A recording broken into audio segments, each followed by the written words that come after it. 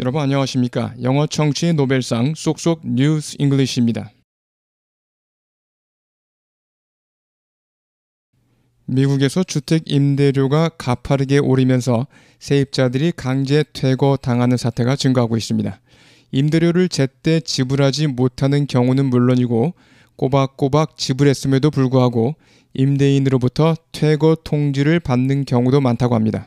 주인이 임대료를 올려 받으려고 하기 때문입니다. 본문 같이 보시겠습니다. And now to America's housing crisis and more families being evicted across the country.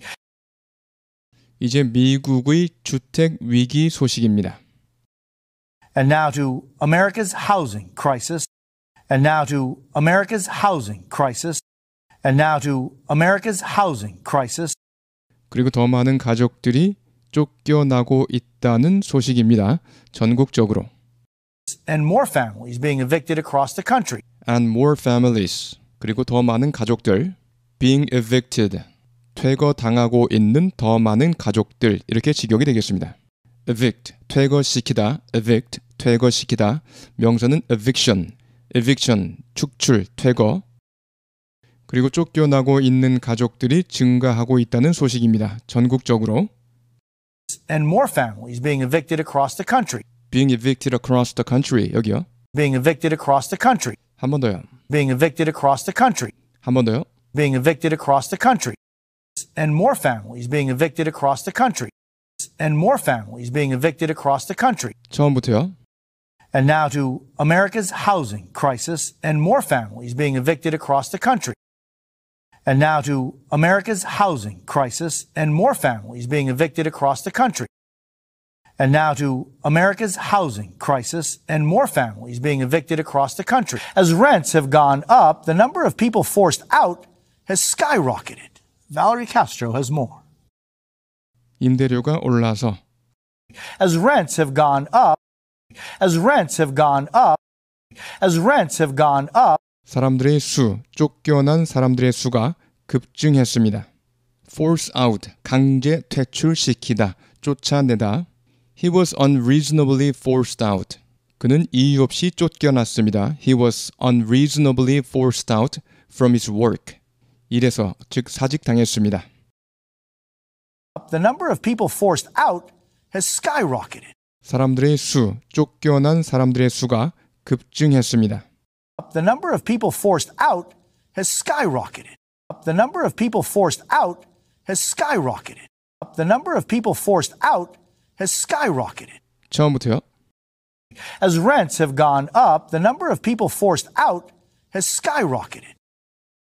As rents have gone up, the number of people forced out has skyrocketed. As rents have gone up, the number of people forced out has skyrocketed. 발레리 카스트로가 보도합니다. Valerie Castro has more. Valerie Castro has more. I do love this old town. For 75 year old Catherine Weaver, the small town of Aberdeen, Washington, just two hours west of Seattle, has always felt like home sweet home. 전 이 구 도시가 정말 좋아요. I do love this old town. I do love this old town.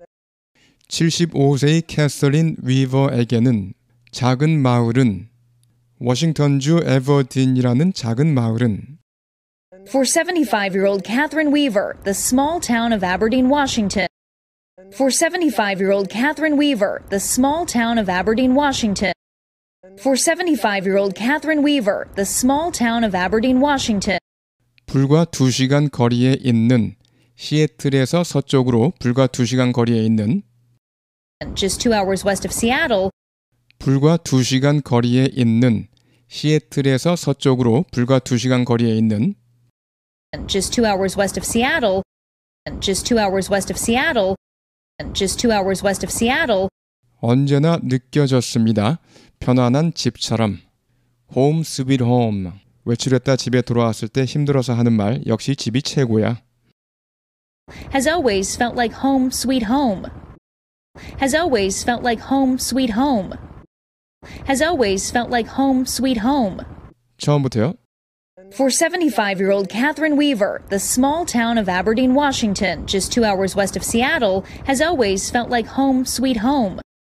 For 75 year old Catherine Weaver, the small town of Aberdeen, Washington, just two hours west of Seattle, has always felt like home sweet home. For 75 year old Catherine Weaver, the small town of Aberdeen, Washington, just two hours west of Seattle, has always felt like home sweet home.